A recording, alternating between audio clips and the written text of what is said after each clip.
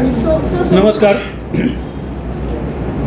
भारतीय मानवाधिकार परिषद या संस्थेद्वारे सातारा जिल्ह्यातील पुसेसावळी गावात झालेल्या दंगलीच्या अनुषंगाने एक सत्यशोधन समिती स्थापन केलेली होती आणि या सत्यशोधन समितीने आपला अहवाल सादर केलेला आहे.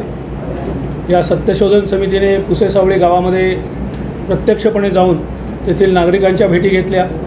तिथल्या वेगवेगळ्या संस्थांच्या भेटी घेतल्या आणि ह्याच्या माध्यमातून जो निष्कर्ष आम्ही काढलेला आहे ज्या शिफारसी आम्ही केलेल्या आहेत त्याच्यामध्ये सगळ्यात महत्त्वाची बाब म्हणजे ज्या Pakistani based plus ninety two या नंबरवरनं धमक्या आलेल्या आहेत त्याच्याविषयी सखोल तपास व्हावा आवश्यकता भासली तर एन आय एसारख्या राष्ट्रीय तपास यंत्रणेकडनं त्याचा तपास व्हावा. त्याचप्रमाणे जे सहा केसेस रजिस्टर झालेले आहेत त्याचा तपास हा त्वरित गतीने व्हावे योग्य मार्गाने व्हावं आणि तसं जर झालं नाही तर शासनाने त्याची दखल घ्यावी आणि योग्य ती कारवाई करावी. धन्यवाद.